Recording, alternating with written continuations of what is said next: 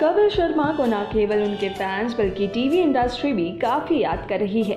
बीते कुछ दिनों से कपिल जिस डिप्रेशन से गुजरे, उसे जानकर उनके फैंस बहुत तकलीफ़ में थे और वह सोशल मीडिया पर लगातार उनके ठीक होने और वापसी की दुआ कर रहे थे। शायद ही कपिल के फैंस की दुआओं का ही असर है कि कपिल जल्द ही टीवी पर वापस आने वाले हैं। ये खबर कपिल के फैंस के लिए किसी दिवाली के तोहफे से कम नहीं होगा। जी हाँ कपिल शर्मा जल्द ही टेलीविज़न की दुनिया में वापसी करने जा रहे हैं, जिसकी जानकारी खुद कपिल ने सोशल मीडिया पर दी। कपिल ने ट्वीट करते हुए कहा कि वो जल्द ही सोनी टीवी पर द कपिल शर्मा शो से वापसी करने वाले हैं।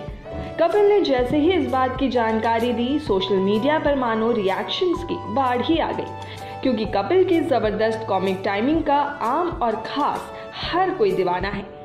इसी वजह से मशहूर कवि और शायर राहत इंदौरी ने भी कपिल का स्वागत शायराना अंदाज में किया।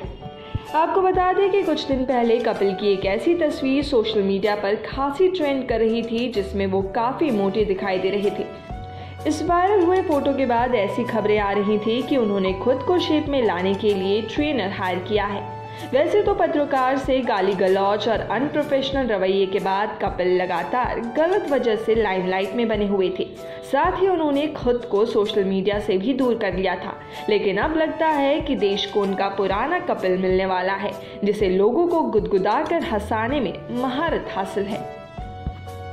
फिल्मी न्यूज़ की बाकी खबरों के लिए देखते रहिए नव भारत टुडे। अच्छा मज़ाक भी तू करेगा तो मैं क्या, ऑटो चलाऊँगा? चलो चलो।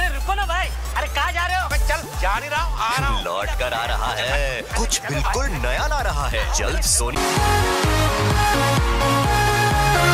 नवभारत टुडे देखने के लिए हमारे चैनल को सब्सक्राइब करें और नोटिफिकेशन पाने के लिए बेल आइकन को प्रेस करें।